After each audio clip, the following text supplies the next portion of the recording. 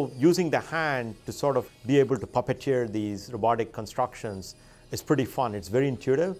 Uh, it's a new form of control, and you don't even have to learn anything uh, or look at something. You enjoy the experience. It's almost like you have magical powers. So it gives that new feel uh, in you that uh, you are in Harry Potter world, but you built the robot.